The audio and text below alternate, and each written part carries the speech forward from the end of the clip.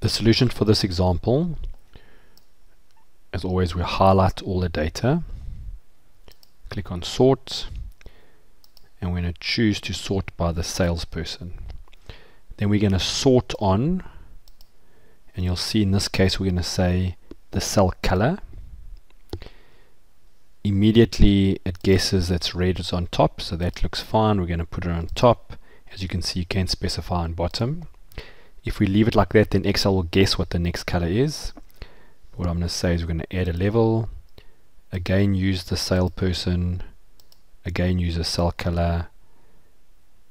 In this case, we're going to say yellow and as there's only one color left we don't have to specify it any further but it's always a good idea to put as many colors in as we think we may have so I'm going to say okay and you'll see it's now sorted so that the reds on the top yellow next then the greens